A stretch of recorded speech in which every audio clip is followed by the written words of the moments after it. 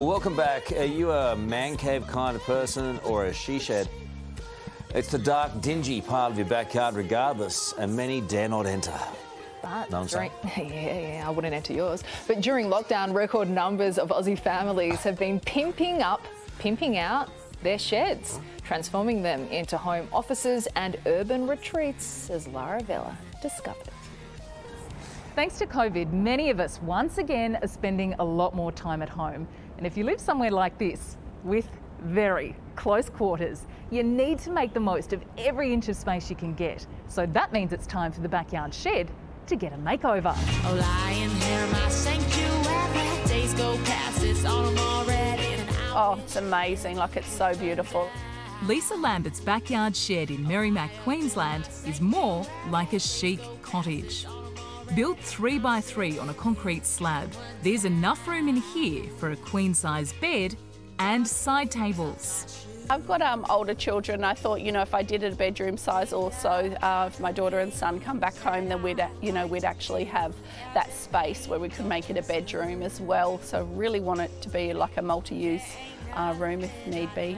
What really transforms this shed into a home addition is insulation and power, making it the perfect retreat any time of day in all seasons. Sometimes the girls come around and we have a crack a bottle of wine and sit in there and got the little Bose speaker in there. We've got everything happening. Welcome to my tune cave.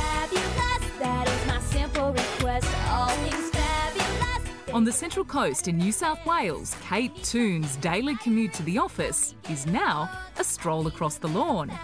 Even just that little commute across my back garden is uh, keeping me sane. With Kate's husband also working from home during lockdown, plus homeschooling the kids, their family needed more space quickly and cost effective too. Just uh, put the shed together. It doesn't really need any foundations. It's on little poles.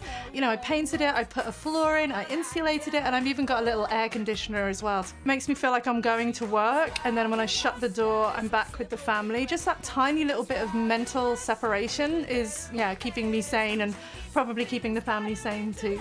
According to data from Aussie company EasyShed, since the start of the pandemic, sales have jumped by a whopping 450%.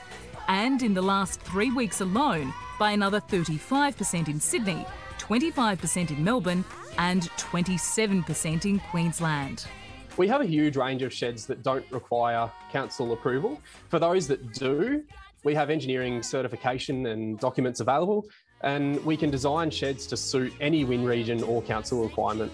As for the cost, Lisa and Kate spent around $12,000 pimping out their incredible sheds, with both builds going over budget. However, they do agree it's added value to their homes and, most importantly, given their families peace of mind during lockdown. Look, it's not a granny flat, and obviously it didn't cost as much as a granny flat, um, but it, you know it's a great little space. So yeah, I think it definitely has added appeal and value to the house. Look, I think it could, you know, have easily added 25,000 to the house. Its location is right in front of the front gate and it just sits beautifully. So um, I think it's a fabulous addition. I love that people are hating lockdown with their partners so much they're building mini homes to escape them. Yeah, anything to get away from um, each other in Yeah. that situation, yeah? That's interesting, isn't it? It's a lot of money to add to a house. Terrific. That's what goes on inside those she sheds, eh? Yeah, now we know, us fellas know. Do the curtains match the carpet though, Karl? Lara didn't get to the bottom of that, did she? No, she... Straight ahead, the Ekka cancelled a second year running where you're live inside the showground turned ghost town. Yeah, ghost town here in a second.